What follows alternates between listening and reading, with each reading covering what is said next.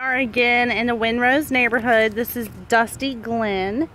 Um, this street goes down, you can see there's a little circle there, and it also pans around to the left, and at the very end of the street it is a cul-de-sac. So you're not going to have a whole lot of traffic here. You're the second house um, on the left, so that's the corner house there. And, um, and I'll come back and talk about that in a little bit when we go in the backyard. So let's go in. This is a two-car garage. Uh, it was got um, sprinkler systems. It's a four-bedroom, two and a half baths, and it does have J uh, GE stainless steel appliances. So we go to the front here, and you've got this leaded glass front door. When you first walk into the home, you can see the um, upstairs. It's very open. You've got tile flooring. And when you walk in, nice tile flooring, I like that. To the left is a designated office, which I thought was pretty cool for you guys. For Mark, it's got the French doors. It's not huge, but it's definitely doable. You can see how much they have in there. They have some nice dark laminate floors in here. And they've done one wall in red. Um, over here, they have a nice big closet that goes under the stairs. So, and then here's a view of the floors. They seem to be in really good shape. You've got, he's got a TV mounted over there. Ceiling fan. And then there's your double doors. Tile floor here. To the left of the office, you have a half bath which two of the other houses did not have that. Um, but you do have, have a half bath here with a pedestal sink and the tile flooring. Then you've got a hall closet here. It's just a coat closet. And over here to the left, you've got a dining room area. Very tall ceilings here. And then they did the same laminate floors, dark laminate floors in here. Which looks really pretty. Up at the top of the stairs, they've got a niche. And they've updated, it looks like most of the lighting in here. Right here you can see the lighting. I love that landing that they have there at the top of the stairs. That's nice. And you see the nice leaded glass front door. So let's go through now to the rest of the house. The living room is carpeted, tile here, and the kitchen opens up to the living room. So here's your living room. It's not huge, but it's definitely workable. Um, doing this video, you guys can kind of make the determination of how much furniture you have or what you're going to put in here and if this would work. But um, tall ceilings here, nice gray color. The colors are really nice and neutral. See that? That's your dining room we were just in. Gas log fireplace. And then a wall of windows here. And then you've got this nice um, breakfast area over here. And they've continued that gray, gray color on the walls. That's your back door, which does have a doggy door. Tile flooring. The tile looks great. Here, let me just get down here and show you so you can see the carpet. There's your tile. They do have kind of a yellow colored wall here on the bar to the kitchen and you'll see how this kind of all overlooks. Get that, get a feel for how open that is. See that's your front front door and then you have a, a walkway there above. And let's go into the kitchen. You've got granite countertops in here. They did the dark black. Let me see if I can get close enough. I'll try some different angles for you so that you can kind of see the color, but it, it looks to be in really good condition. Rounded corners here on the granite.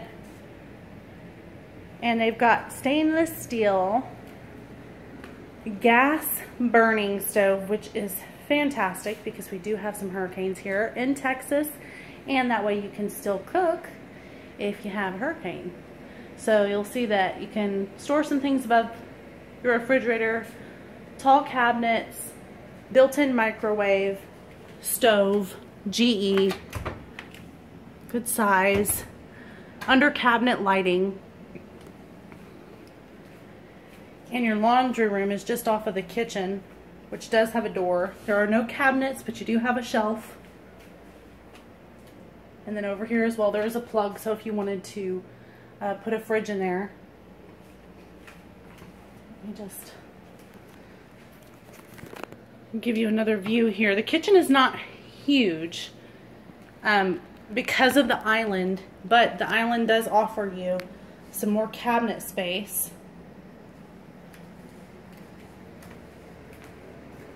Got a great sink here, backsplash, and a really good sized pantry.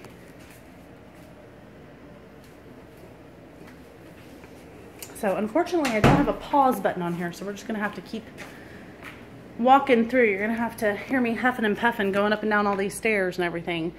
Here's your master bedroom. You've got really tall um, ceilings in here, nice ceiling fan.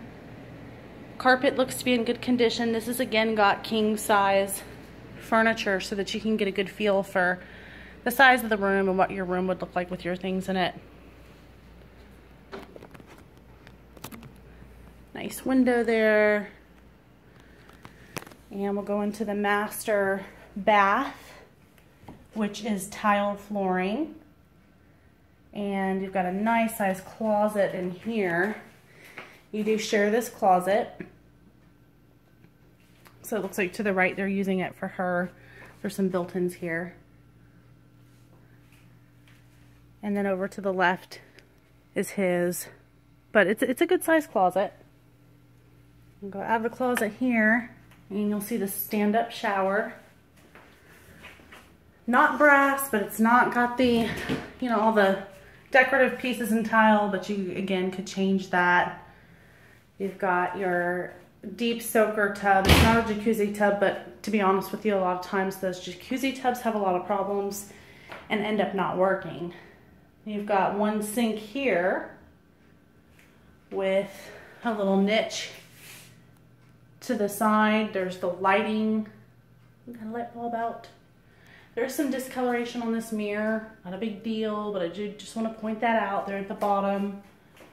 Um, and then let's pan around over here and you can see the other sink, which has a little kick out over here to where you could pull up a stool for your makeup or curling your hair or whatever you need to do there. And then of course your commode over here. So we're gonna go out and up the stairs. So we go through the master, there's your kitchen, breakfast room, living room, dining room, there's the office we looked at earlier. And we'll head up the stairs. I like this niche they have here. And so when you get to the top of the stairs, you've got this room that they're using for a game room. This could be an office if you didn't want to use the downstairs designated office. Or just another game room for you. Another sitting area. And this is all very open, so you could um, change these spindles out with a wrought iron. Seems to be what people are doing a lot nowadays. It just gives it a, a nicer look. Nice lighting there. This is also an area that you could use as an office. I mean, there's a lot of options with this house as far as where you want to put your office. I've got kiddos. So they're obviously using this as a little art station. Bathroom. Tile flooring.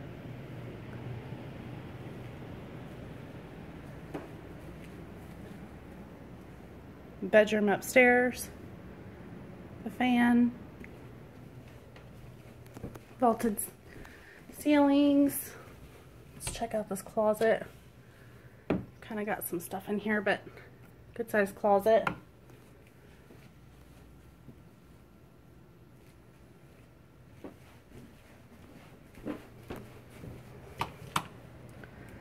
So here's the other side you can see of that game room.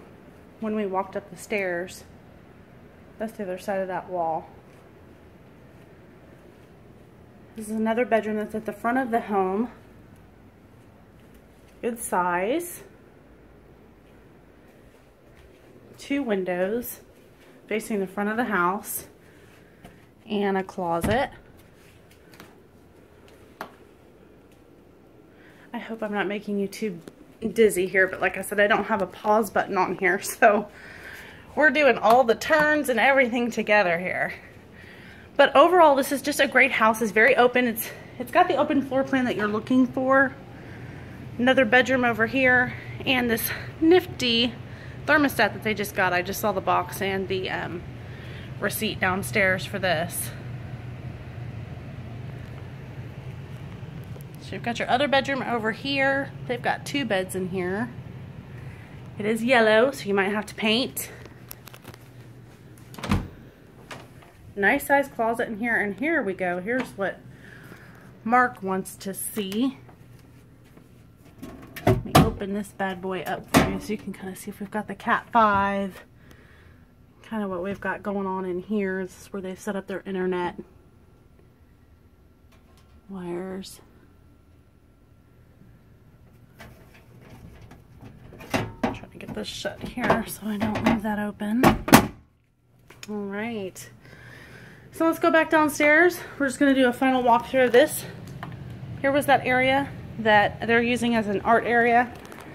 See how this kind of overlooks the breakfast room, kitchen, living room, dining room, very open, and the spindles open up to the front so you can see the front entryway as well. And then there's that office downstairs and all the bedrooms over here that we just looked at. So one final thing we're going to do is go out into the backyard. Now the backyard, I guess the downside to this house would be that the lot is not huge compared to some of the houses that we saw, Mark, when you were here. Um, however, the way that this is designed, you won't have anybody directly behind you. Because remember earlier I was talking about how you're the second house on the street. So that's the first house, okay? So that's the neighboring house. Now, you've got this stone wall in the back because that faces um, the community. I'll show you. I'm going to get up here on a chair so that you can see. But um, you do have covered, you know, covered patio with recessed lighting. There's two fans out here, a nice slab. I'm going to get up here so you can see what this is behind the house is just a little, it's a, a green space. It's a common area space is what it is. Where they're going to keep up those crepe myrtles and they're going to be mowing for you. But outside of that, it's just a four, it's a, it's a stop sign that goes through um, to the other sections of the neighborhoods. It's very quiet, very, um, very little travel on this street. So I don't want you to be put off by the fact that the yard is smaller um, and worried that there's something that could be built behind you. Yes, it is smaller, but you're not going to see anything coming up behind you. So here, I'm trying to see if I can get a car coming, but there just hasn't even been a car since I've been standing here.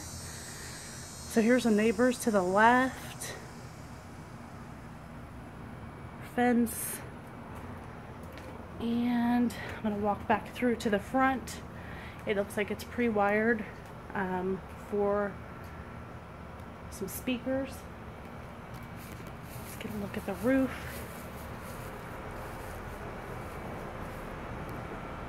It's good. It's got the ridge vent.